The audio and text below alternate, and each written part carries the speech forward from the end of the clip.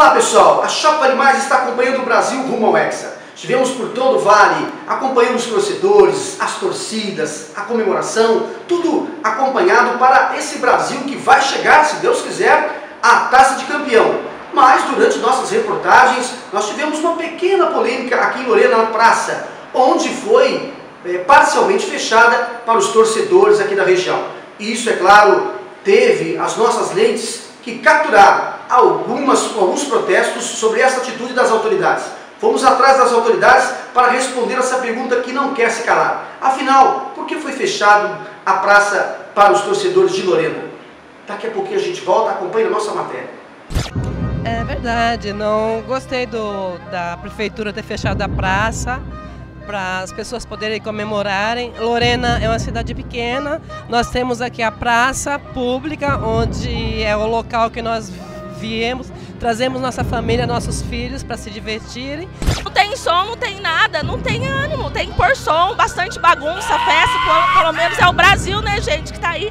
Na realidade, no primeiro jogo do Brasil, é, houve um tumulto após, nas comemorações, houve um tumulto e resultou até em, em tiros em público. A Polícia Militar e nós, da Prefeitura, preocupados com, com as ocorrências, fizemos a reunião e achamos por bem fazer um isolamento da praça, permitindo que as pessoas chegassem a pé, evitando que os veículos chegassem lá. Porque na, na, no calor da, da, da comemoração, como houve esse tumulto no primeiro jogo, poderia haver também até danos materiais, porque as pessoas se inflamam, bebem, e a comemoração também, a alegria também ajuda um pouco, embora eu acho que deva ser comemorado sim, eu acho que é um motivo de festa, mas a gente quer evitar acidentes com danos mais graves, inclusive com, com danos físicos.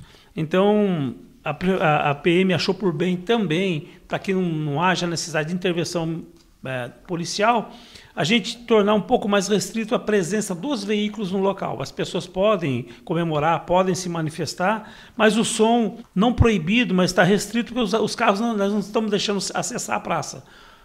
Receio de acúmulo de pessoas, de repente o veículo em movimento atropelar alguém, ou até mesmo lá no calor assim da comemoração, as pessoas é, provocarem danos materiais é, nos veículos, acidentes pessoais também. Então, também para um, tornar mais fácil a questão da segurança. Dessa forma, foram feitas algumas reuniões junto à prefeitura e outros órgãos, né, no sentido de melhorarmos ou de garantir essa segurança. Então, ali na praça foi colocado né, para que fosse fechado realmente, para evitar, porque não ia ter aglomeração de pessoas. Então, o trânsito de carro colocar, poderia colocar em risco aí a circulação, a integridade física das pessoas. Então, achou por bem aí estar tá fechando ali a a praça, né? No entanto, se tiver menos pessoas, tiver é, é, é, mais, aí vai ser cada caso, né? Vai ser avaliado e aí vai ser adotadas as medidas, tudo visando a segurança das pessoas. Eu entendo que as pessoas até reclamam, ah, por que, que eu não posso estar lá, por que, que tudo, mas é, é, o objetivo nosso maior é a segurança. Mas deu a entender pela matéria que estava sendo fechada a praça. Não, é só os veículos, o trânsito de veículos, num perímetro também, né? Parece que um perímetro próximo. Exato. Como ia supostamente iria ter uma grande aglomeração de pessoas por lá, então achou viável então interditar para os veículos. Isso aí tudo visando a integridade física das pessoas, porque já que teriam bastante pessoas circulando, crianças poderiam sair correndo né, de, dos seus pais, entrar na rua e vice-versa, e aí se colocaria em risco. Então não achou melhor, né, por, até que continuasse aquela quantidade de pessoas, é, fechar ali a praça para os veículos. As pessoas, é claro, pode estar frequentando lá, pode estar participando, pode estar comemorando.